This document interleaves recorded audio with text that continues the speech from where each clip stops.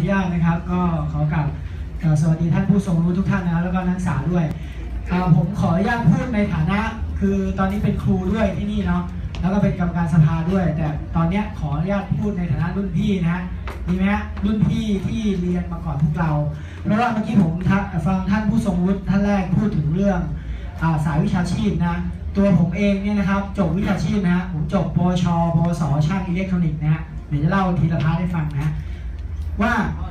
แล้ววันนี้มาเป็นอาจารย์เป็นด็อกเตอร์ได้ยังไงนะครับ คือผมเรียนเรียนเนื่องจากว่าผมทำงานด้วยเรียนด้วยมาตลอดนะฮะในสมัยนั้นก็คือจบปชปสแล้วทำงานด้วยเรียนด้วย หลังจากนั้นผมก็เรียนสุโขทัยธรรมธิราชนะครับ ผมไม่ได้มีโอกาสเรียนเหมือนน้องๆที่นั่งตรงนี้นะคือเรียนในรั้วอุดมศึกษาแบบแบบปิด ผมเรียนแบบเปิดทำงานไปด้วย เรียนไปด้วยจนจบปริญญาตรีหลังจากจบปริญญาตรีเสร็จผมก็ทำงานไปด้วย เรียนไปด้วยจนจบปริญญาโท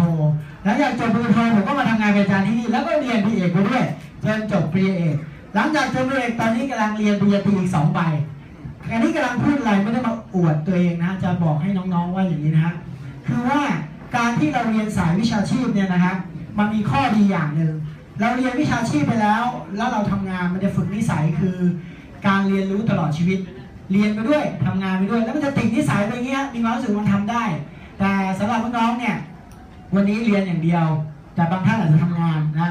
ตรงนี้อยากให้เสริมเข้าไปนะครับ วันนี้ผมจะขอพูดเรื่องปัญหาการศึกษานิดนึงนะว่า ในเรื่องไม่ว่าจะเป็นเรื่องโอกาสการแข่งขัน หรือว่าการต่อยอดทางการศึกษาที่เมื่อกี้ท่านผู้ทรงวุฒิบอกว่าปฏิรูปไม่พอต้องปฏิวัติ อันนี้เห็นด้วยนะครับ เพราะจริงๆแล้วเนี่ยผมผมบอกให้เลยปัญหาของวิชาชีพมันเริ่มมีปัญหาตั้งแต่เมื่อไหร่ มันเริ่มมีปัญหาเมื่อ5้าปีหลังมานี่เองนะฮะ ที่ว่ามหาวิทยาลัยไม่รับคนที่จบสายวิชาชีพให้เรียนต่อเนื่องได้ แล้วกลายเป็นว่าที่ทุกวันนี้ที่เรียนต่อเนื่องมันไม่ได้ต่อเนื่องแท้มันเป็นการโอนหน่วยกิจแล้วทำให้เรียนเกินเวลาทำให้คนไม่ค่อยอยากจะ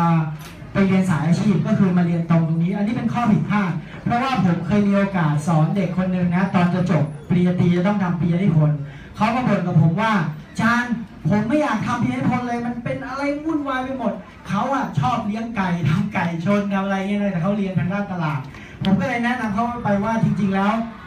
การศึกษาที่เราเรียนอยู่เนี่ย เขาเรียกว่าวิชาชีพที่หนูเรียน เอ้ยขอโทษนะ เขาเรียกว่าวิชาการที่หนูเรียนอยู่เนี่ย คือจบไปเป็นนักวิชาการ แต่จริง ๆ แล้วพวกหนูจะต้องมีทักษะทางวิชาชีพด้วย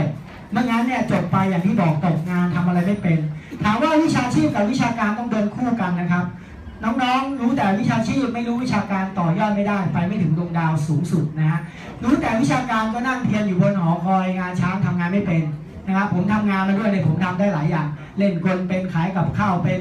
โอ้ทำกิจกรรมเป็นทุกอย่างนะพูดอย่างนี้เพื่ออะไร เพราะว่าเมื่อกี้ท่านผู้ทรงยศท่านที่สี่นะครับผมจะขออนุญาตนะจำท่านไม่ได้นะท่านเสื้อขาวเนี่ยที่เป็นอยู่สภาพัฒน์หรือเปล่าฮะใช่ไหมฮะท่านพูดมาคำหนึ่งผมโดนมากเลยนะ เขาบอกว่าเราจะต้องเริ่มปฏิรูปตัวเอง ตั้งแต่ตอนนี้เพราะฉะนั้นนักศึกษาที่มานั่งอยู่เนี่ย